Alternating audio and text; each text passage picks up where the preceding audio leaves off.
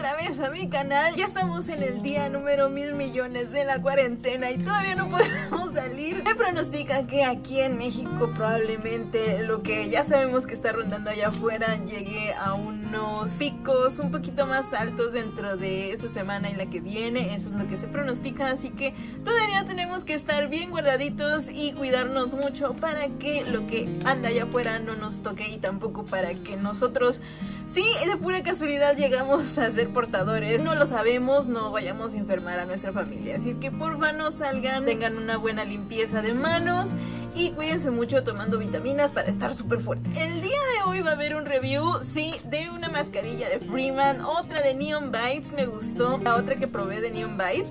Y esta es Peel Off, esta sí es Peel Off, no es como la otra que era de arcilla. Y esta es Get Lit Illuminating with Joji Berry. ¿Qué beneficios vamos a tener con esta mascarilla? Que únicamente vamos a tener buenas vibras y obviamente vamos a tener nuestra carita súper iluminada gracias al efecto de la valla de Goji. Y nos va a aumentar la hidratación de nuestra piel para que se vea así súper, súper bonita e iluminada.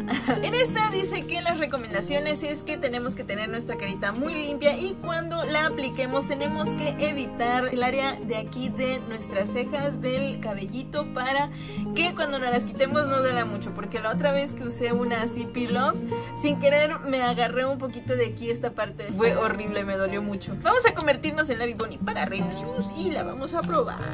Ya que estamos súper listos para este review vamos a proceder a abrir este sobrecito de esta mascarilla. La verdad a mí me gustaron los colores porque la otra fue así súper azul y esta va a ser así, espero que sea así súper rosa. Así que vamos a abrirla a ver qué tal. Ya les había dicho que Freeman hace buenas mascarillas. No es contenido promocionado porque todavía no me pagan. Pero la verdad hace buenos productos. Algunos que sí he probado sí me han convencido de quererlos volver a probar. Huele un poquito feo, huele como que a licor, a esos licores de frutitas. A eso huele sinceramente. No huele así como que muy agradable. ¡Wow! Parece chicle. Se me está regando.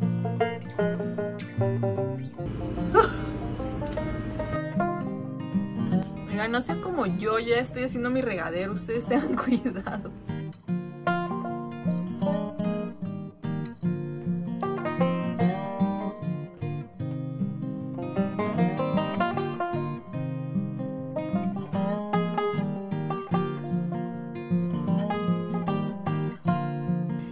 Super aplicamos y somos un chiclito rosa, la vamos a dejar secar para ya después quitárnosla así en peel off. Y como se darán cuenta me quedó mucho producto aquí en el pincel y también me quedó mucho producto todavía aquí adentro como pueden notar me quedó bastante todavía. La verdad el olor no me gusta mucho porque les digo huele así como que a licorcito de frutita pero pues tampoco es un olor así que digas ay huele a cantina ¿no?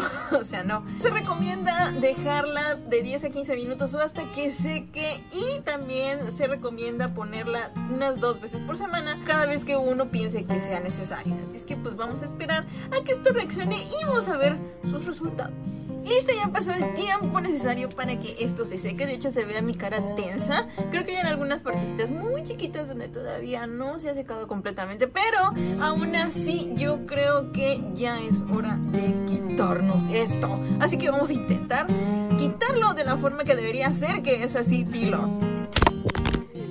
Oigan, acaba de caer en mi teléfono. es que mi tripié ya está colapsando. Wow, primera vez en mi vida que algo sí está saliendo súper pilo.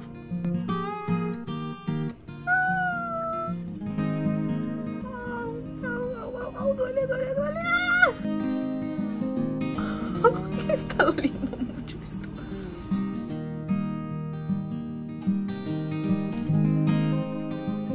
Duele mucho. Partes que no se han quitado completamente, así que me voy a dar una pequeña enjuagada rápida con agua para quitarnos todo. Ya que no las retiramos, la verdad me costó un poco de trabajo quitármelas. Subidas cuentas, todo lo que me puse en la cara terminó siendo esta pequeña bolita que dolió horriblemente horrible, pero yo siento que es porque obviamente pues en la cara también tengo unos pequeños pelitos como todo ser humano. En cuanto a los resultados, pues no veo así como que un cambio significativo, no veo así como que la cara así súper iluminada, relajada o las cosas que así prometían. Me quedó todavía el pequeño aroma de licorcito como que de frutita. Es una mascarilla que me haya convencido de todo, a pesar de que Freeman hace buenas mascarillas. Sí siento mi cara un poco suave, pero no tan suave que en otras ocasiones yo he podido tener. En cuanto a luminosidad, pues yo la sigo viendo igual. Si me ven así amarilla es, ya saben, por el reflejo del sol. Pero pues hasta ahí, o sea, no hay mucho que decir porque en mi caso particular pues no hizo como que gran cosa. Fue algo así como que muy wow esta mascarilla, o sea, sí, porque pues es rosita, un rosita chillón. Y hasta ahí, o sea, de ahí en fuera pues no, no tuve ningún otro resultado. Espero que les haya gustado mucho el review del día de hoy. Se cuidan mucho, se suscriben a mi canal y nos vemos en la próxima. Bye. Oshi dice bye, bye.